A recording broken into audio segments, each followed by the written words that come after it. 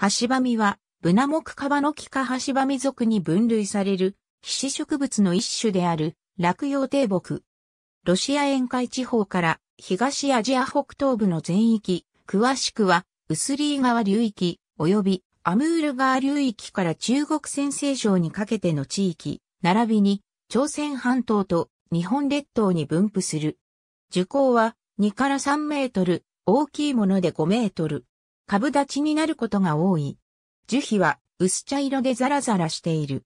葉は五星子、手のひら状に丸く硬くザラザラしている。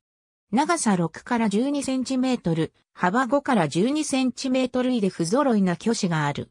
先端は急に尖って若い葉の中心部が赤茶色になっていることがある。夏季は3から4月頃で、私有同種。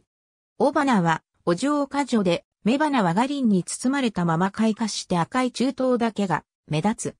果実は食用にできるが、世界的に流通しているヘーゼルナッツは、本種の同族一種にあたる西洋ハシバミである。